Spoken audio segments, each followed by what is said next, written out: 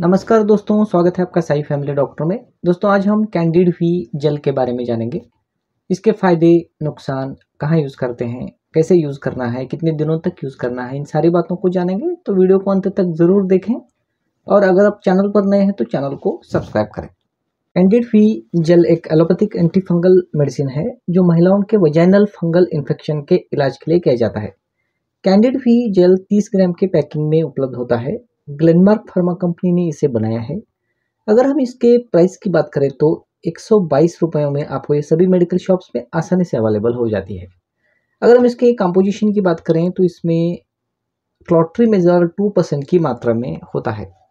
चलिए जान लेते हैं कि ये कैसे काम करता है।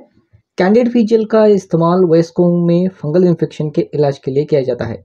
यह दवा दर्द और खुजली से राहत देती है। और वाइट डिस्चार्ज को, यानी सफ़ेद पानी को कम करती है। ये फंगस के ग्रोथ को रोकने का और मार डालने का काम करती है। चलिए इसके उपयोग जान लेते हैं।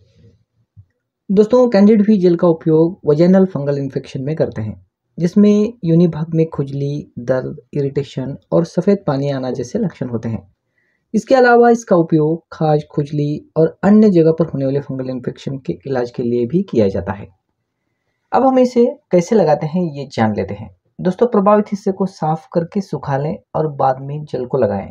इस क्रीम के साथ आपको एक एप्लीकेटर भी दिया जाता है, जिसे आप यूनि भाग के अंदरूनी हिस्से में लगा सके। इस जल का उपयोग दिन में दो बार कर सकते हैं, लेकिन ज़्यादातर इसे रात में लगाने की सलाह दी जाती है।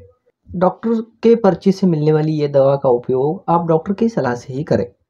जितने दिनों तक यूज़ करने की सलाह दी गई है, उतने दिनों तक इसका इस्तेमाल करें। अब हम इसके साइड इफ़ेक्ट्स जान लेते हैं। छाले, त्वचा पर पपड़ी बनना, सूजन, जलन और अप्लाई की जगह पर इरिटेशन होना जैसे साइड इफ़ेक्ट्स हो सकते हैं। तो प्लीज़ आप इसका इस्तेमाल अपने डॉक्टर की सलाह से ही करें। दोस्तों वीडियो में दी गई जानकारी आपको अच्छी लगे तो लाइक करें और अगर आप चैनल पर नए हैं तो चैनल को सब्सक्राइब करें। धन्यवाद।